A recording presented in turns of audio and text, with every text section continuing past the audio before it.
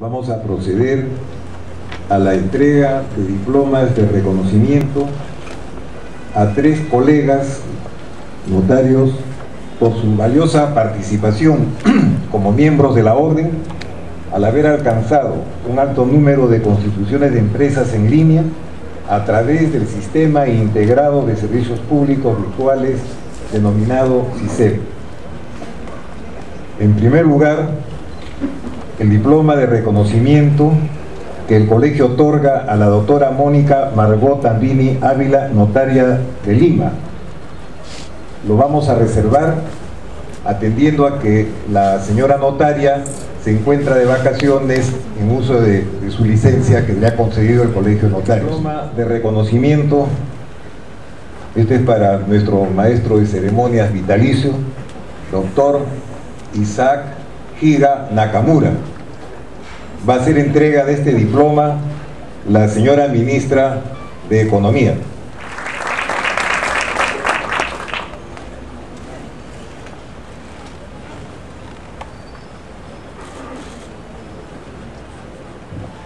El tercer diploma de reconocimiento que se otorga a la doctora Clara Palmira Carnero, Carnero Ábalos será entregado por el señor ministro de la Producción.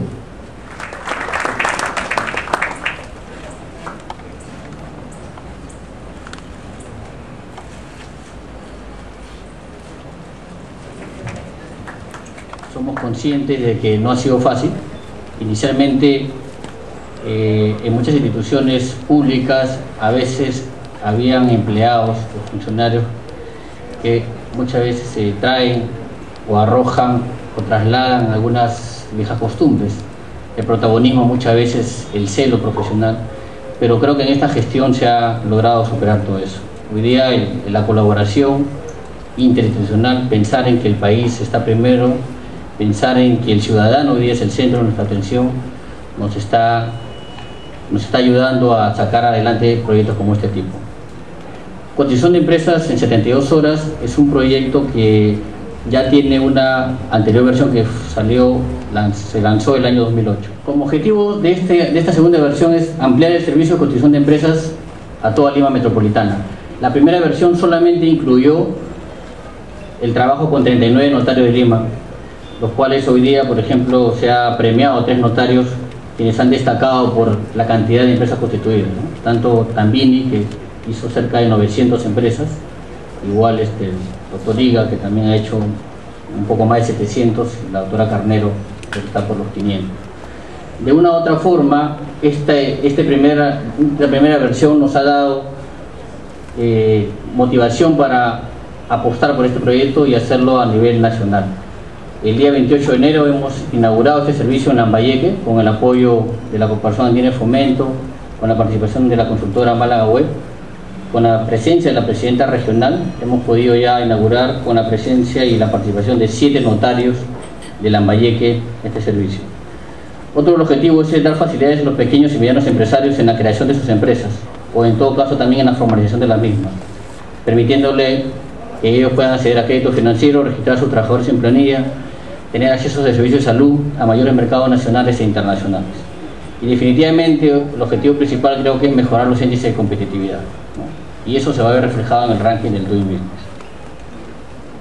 ¿Cuál ha sido la, función de la presidencia del Consejo de Ministros? Básicamente ha sido liderar el proyecto a través de ONGI, administrar el portal de servicio ciudadano de donde se empieza el trámite, enviar datos a los usuarios del servicio en línea a notarías a través del Colegio de Notarios, coordinar acciones técnicas, administrativas y legales entre las entidades participantes, monitorear el servicio, generar estadísticas, participar en la capacitación de las notarías y apoyar con el soporte técnico.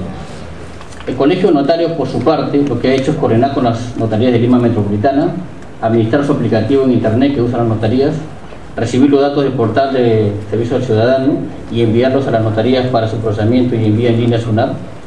Todo el pago del servicio se hace en la notaría, tanto para el notario como para el SUNAR.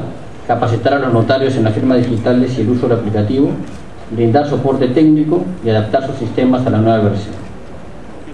El caso la Junta de Decanos del Colegio de Notarios del Perú articula acciones con los colegios departamentales de notarios para incorporar las notarías de las regiones del país. Actualmente se han incorporado las notarías de Lambayeque. Tenemos ya el compromiso con la Notaría del Callao para en promedio de 15 a 20 días poder inaugurar también en el Callao este servicio. Luego San Martín, luego Ica, los notarios de ambas regiones ya han sido capacitados y próximamente procederemos a inaugurarlo. Con los funcionarios del Ministerio de Economía y Finanzas se está coordinando porque también se desea implementar en Piura, en La Libertad, en Tacna, así que próximamente también anunciaremos este servicio. Este es el, portal donde ustedes pueden encontrar toda la información del sistema de servicios del sistema de cotización de empresas, el portal de servicios al ciudadano www.tramites.gov.pe. En este portal ustedes encuentran más de 3.000 trámites eh, de más de 300 empresas del Estado. Si bien es cierto, estos trámites a la fecha ahorita es, es un trámite que te da una descripción, dentro de estos trámites tienen un, uno como este que es cotización de empresa que está ya de manera virtual y en línea para poder ejecutar.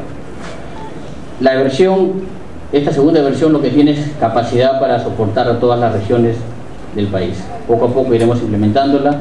El día de hoy estamos incorporando a 96 notarías más, vale decir, si estábamos con 39 notarías en la primera versión, a partir de hoy día pasamos a 135 notarías en Lima Metropolitana y luego pasaremos a las 20 del Callao y luego vamos a estar en 155.